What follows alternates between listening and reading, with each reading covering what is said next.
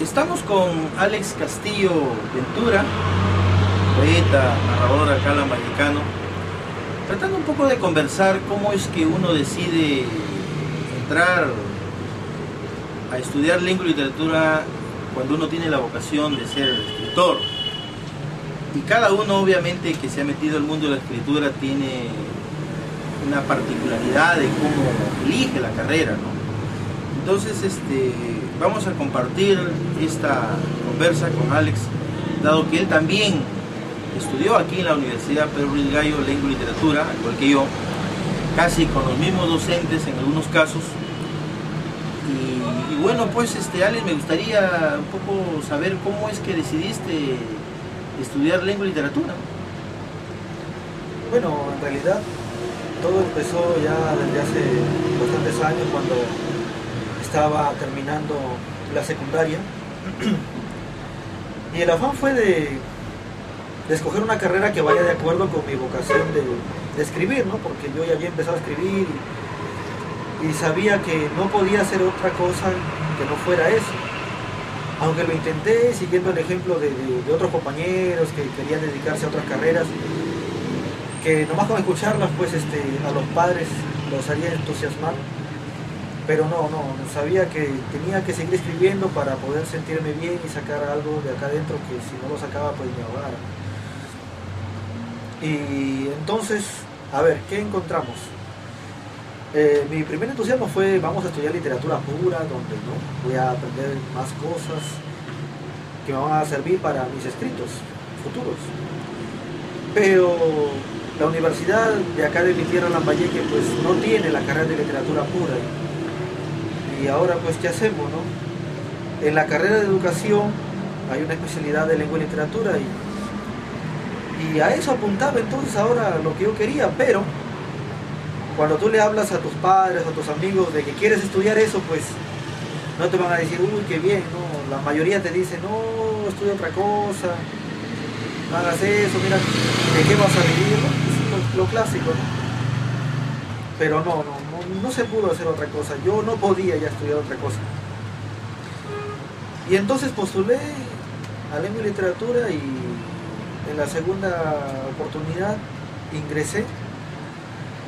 Y también es la cuestión de que muchos nos confundimos en el caso de que pensamos que al estudiar la carrera de lengua y literatura, educación, pensamos que se nos van a dar todas las herramientas que nosotros queremos para ser escritor y no es así porque la carrera es de educación, no es de, escritor, ¿no?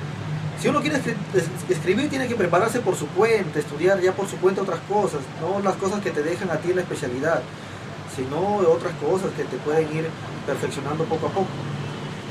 Y bueno, pues seguí en eso, seguí estudiando algunos libros, teorías que me podían servir para mi carrera eh, de educación pero también por ahí, por otra parte, me quedaba hasta tarde estudiando otros libros para mi carrera literaria, por así decirlo, pues, ¿no? Porque me puse a pensar, tengo que trabajar en algo para sobrevivir el cuerpo, pues, Y la literatura la escribo para, no sé, quizás alimentar el alma.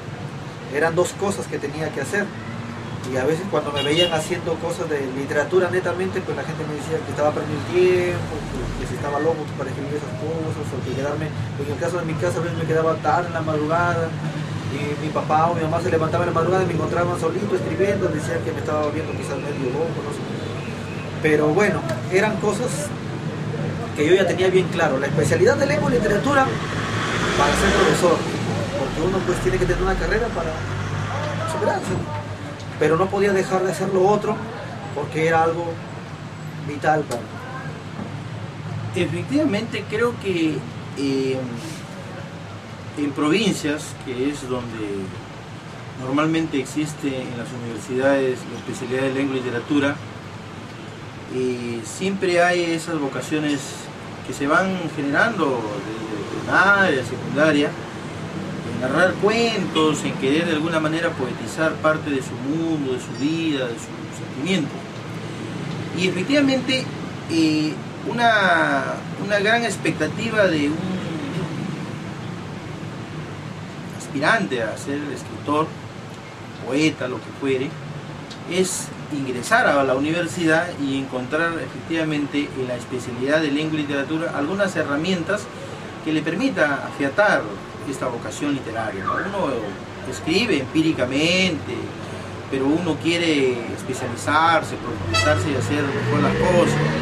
Entonces la universidad pasa a ser ese referente inmediato para escribir.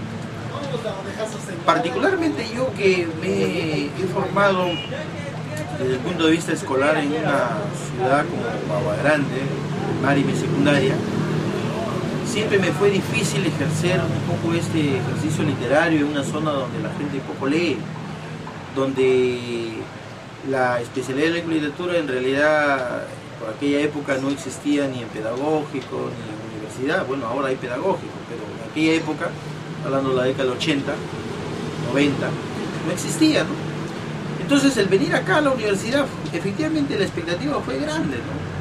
Creíamos de que ahí íbamos a encontrar la gente que escribía. Y bueno, pues la constatación es de que de un aula donde hay, digamos,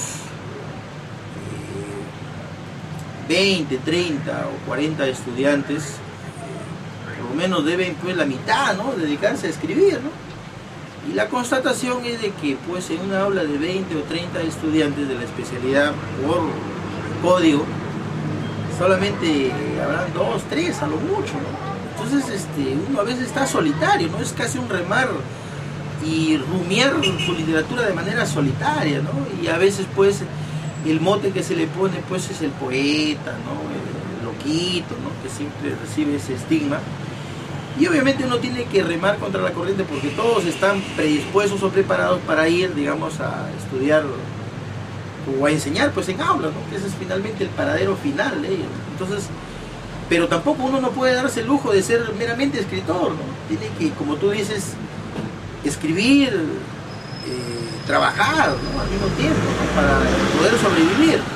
Entonces el problema aquí es que la universidad hay la especialidad en literatura para ser docente no te da todas las herramientas. Ni creo mucho más que aquellas universidades que tienen literatura pura, el caso de San Marcos, la Universidad de Cusco, necesariamente te van a dar todas las herramientas, pero sí te dan la especialización y por lo menos mayores nociones para poder entrar a comprender el mundo literario por fuera, pero el mundo literario por dentro es una etapa solitaria. Alguna vez este, estuvo aquí en nuestra universidad Julio Ramón Ribeiro, Bryce Echenique, y en unas conversas que nosotros le preguntábamos cuando era estudiante, Julio, eh, perdón, Alfredo Bryce Echenique sostuvo de que él aprendió a ser escritor no dentro de las aulas de San Marcos, sino fuera de las aulas.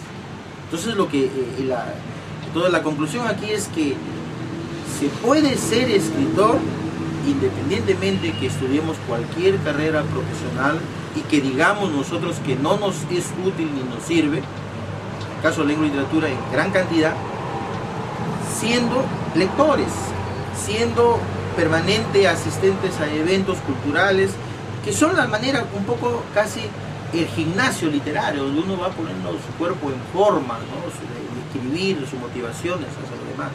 Entonces creo que la, Aquí para cualquier escritor joven que quiera iniciar tiene que entender, primero que la universidad no le va a dar todas las herramientas de escritor.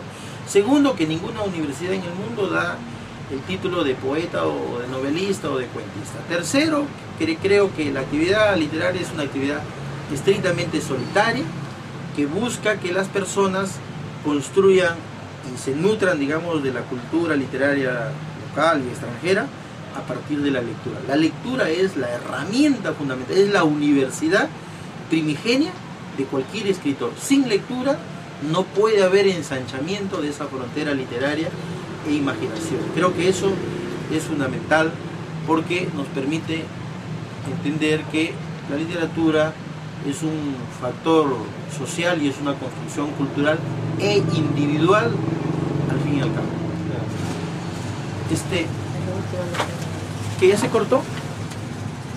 Amorcito, sigue. Tiene que cortarse.